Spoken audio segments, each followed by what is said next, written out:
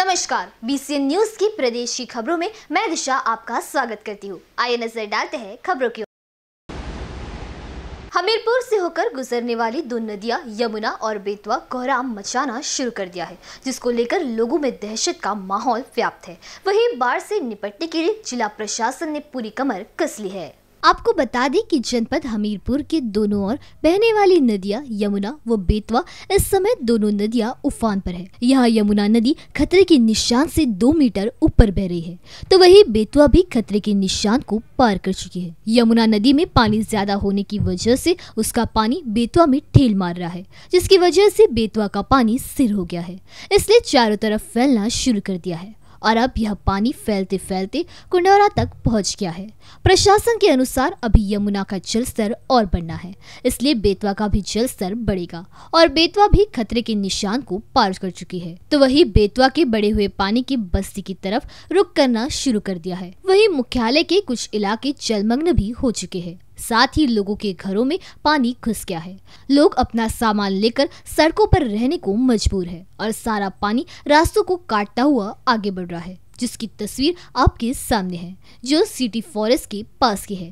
फ़िलहाल किसी भी हालत से निपटने के लिए प्रशासन अलर्ट है, लेकिन घरों से बेघर हुए लोगों ने बताया कि अभी तक उनको किसी भी प्रकार की सहायता प्रदान नहीं की गई है। चौकिया लगातार हालत पर नज़र बनाए हुए है। बाढ़ की स्थिति अभी सामान्य है। चंबल नदी में पानी ज़्यादा बढ़ने के कारण यमुना खतरे के निशान के, पा, अ, के पास है।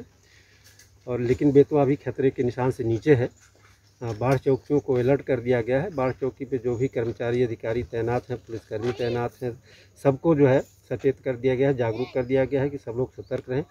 और आसपास के जो भी इसकी परिधि में आने वाले गाँववासी हैं उनके साथ निरंतर संपर्क बनाए रखें। और किसी भी प्रकार की ऐसी स्थिति आती है कि पानी बढ़ता है तब उन्हें सुरक्षित स्थानों पर जाने के लिए प्रेरित किया जाए।